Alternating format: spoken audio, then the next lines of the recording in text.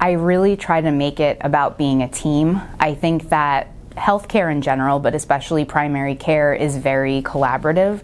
So I think, you know, we as physicians can give you all kinds of guidance and education, but I think that it really helps for it to be a team process. So teamwork is really important um, in terms of preventative care and healthcare in general.